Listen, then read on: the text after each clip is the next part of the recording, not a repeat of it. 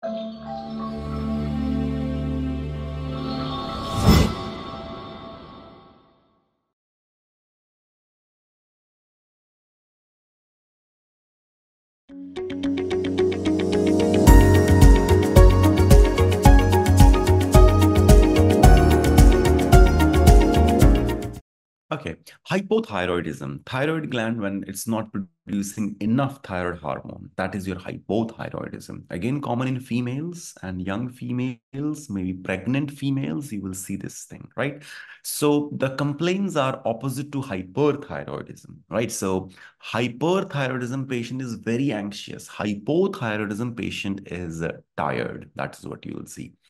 Uh, patient might have weight gain, right? So tiredness, we might be thinking it's cancer, but then weight gain, which is going opposite to cancer. So weight gain, lethargy, brittle hair, puffy face, cold intolerance. They feel cold when others are okay. Dry scaly skin, constipation, they will be having.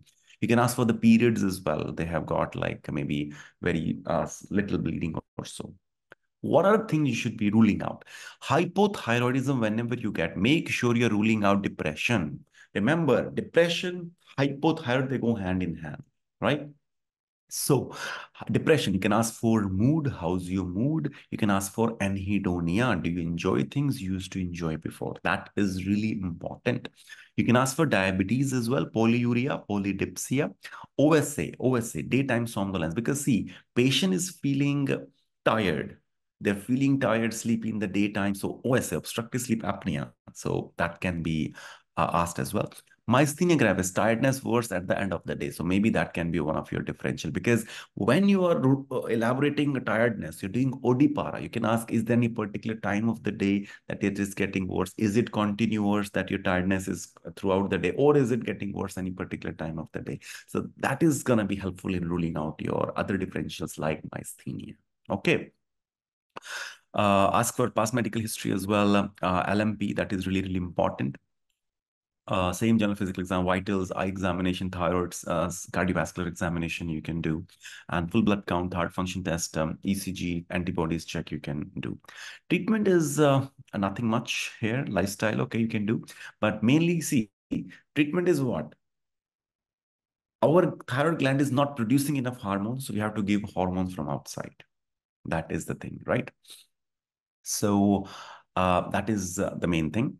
So it's uh, levothyroxine. That is what you have to give it to the patient. So they usually take it in the morning, empty stomach, uh, half hour before the breakfast. That is really important. And it has got the side effects as well. So like nausea, vomiting, palpitations, sweating, endocrinologist, maybe you can refer the patient if you have to screen for autoimmune conditions as well. Or if the patient is pregnant, obviously you need to refer the patient to the specialist or, or, or definitely they'll be uh, seen by the gynecologist. So they will be able to manage, right? Safety netting, again, uh, depression safety netting, suicidal and suicidal thoughts. Uh, these are the things that you can mention in the follow-up and in the safety netting. Is it serious? Not really. It's treatable. We can manage it. Right. And uh, just be careful about these kind of station because depression, I want you to rule out. So one, two question for depression will be really, really important.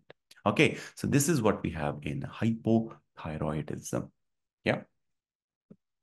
Can we have CFS also on the differential? Yes, yes, sir. It's a chronic fatigue syndrome. Yes. But the chronic fatigue is what? It is like uh, when you don't have patients feeling tired they feel tired throughout the day and there is no medical reason behind it. So before you make the diagnosis of chronic fatigue syndrome you have to rule out other things as well right? When you ruled out everything and you couldn't find anything that is chronic fatigue. Patient has to have the history at least for more than three months and chronic fatigue syndrome the usually the problem starts with the flu. I had a flu and now i started feeling tired right? So that is something that you will see uh, in uh, hypothyroidism, right? Under which section are these new flashcards available? Uh, where exactly it is? Hmm, that is a good question. I need to check with the admin team where they have uploaded, but it is definitely uploaded that I know. Yeah. So in the WhatsApp group, I will I will mention it. Yeah. Can we uh, both depression and hypo in the same station and manage both? Of course, it can be. The reason for depression could be underlying cause could be hypothyroidism. So you have to manage both. That can definitely come. All right. Okay, let's move on to